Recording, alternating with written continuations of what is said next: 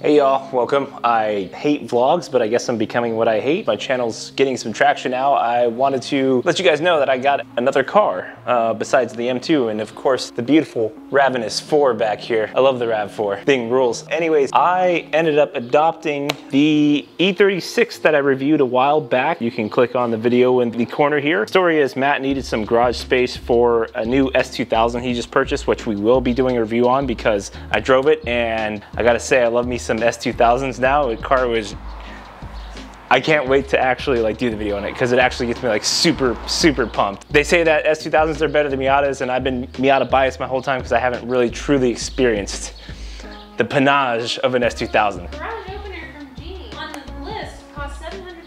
Garage opener from Lowe's costs $200. Wait, so it costs how much again? $630 to get it from the home, like from the home builder. But to get it from Lowe's and install it ourselves for free, with the pre-wiring already included, it costs $200. Why would we do that? Why would we do that? Do we, are we, do we have to do all that? No. Like that bad boy right there. Yeah. Chamberlain, is that up? $149. Yeah. 700 fucking dollars for a garage opener. Go fuck. Get this house. Building a house is stressful. Yeah, excuse all the, the bird droppings sitting under this tree. It's been sitting here for about a week now and I'll, I'll get through that here in a moment.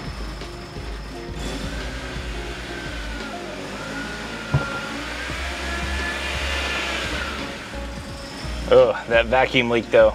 Okay, let's cut this bad boy off.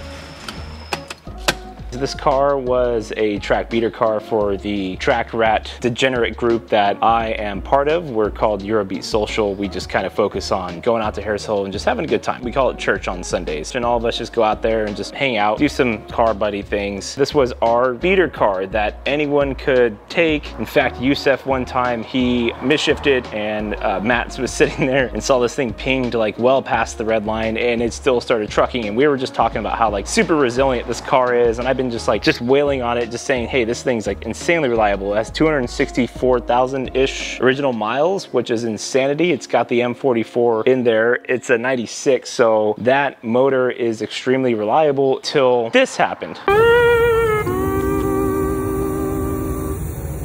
It ended up overheating on the way to the track. Doing filming for Cav Z4 and this car started overheating literally right before I exited the exit for the track. And it sucks because it was doing just fine until then and I, I had it overheating at a light far before and I was like, should I turn around to get the M2? And I was like, no, no, I really, I really, really wanted to drive the E36 just because it's so much fun on the track. Not saying that the M2's not, it's just the M2's like way more serious. The E36 is just laughable on track. And I was sitting at a light getting ready to pretty much hop on the highway and I noticed that my temperature gauge was starting to climb a little bit and I was like, oh shit. I was sitting behind a Dodge Ram with one of those chrome bumpers and I looked at the chrome bumper and saw there was a big old pool underneath the car and I was like, oh crap, it's a coolant leak. So kind of freaking out, but I was like, you know what, once I get going, I've got a bunch of distilled water just chilling here. I'll just top it off, distilled water chilling back in there. The temperature gauge did not climb over into the red. It did like get pretty damn close. It, it got like, it got, eh, it was past, it was almost red. It was almost red. Anyways, I had already pretty much taken ownership of the car when that happened. Matt felt really bad. I was like, dude, don't even worry about it. Like seriously, it's not a big deal. I expect this stuff to happen. It's been a long time since I've had a project car to wrench on. I've, I haven't lifted a wrench in probably about two years. And again, I promise I will clean all this bird shit off once I get her going again, which should hopefully be sooner than later. Hoping that I see the heater core hoses leaking and I just have to replace the heater core hoses, which are usually a pain in the ass to get to on any car. I am very familiar with the heater core hoses on Miatas, making me want to like murder myself. Hopefully that's all it is and I can just purge the coolant system and everything and she'll be running fine. Hopefully it's not a warped head. Uh, I, I, don't need that right now, especially since uh, trying to save for a house. Meanwhile, I'm getting another project car. Again, there is nothing wrong with the M2. I love this car to death. It's just far more serious. I just wanted something a little bit more analog as opposed to digital, even though the M2 is kind of the last purest BMW driving car that we have. But I mean, this guy, oh, it's just so simple, so awesome.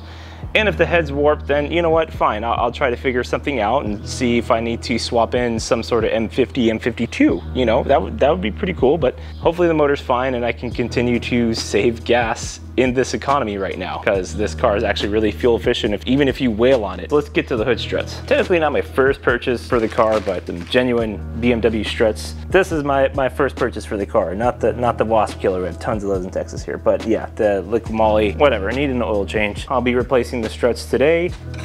Not quite a broomstick. This will do for now. Are you gonna stay? Stay for me, please don't follow me. Pittsburgh tools. You get what you get. These pliers are literally bending. I don't even know if these are Pittsburgh tools. Like, yeah, they're just bending.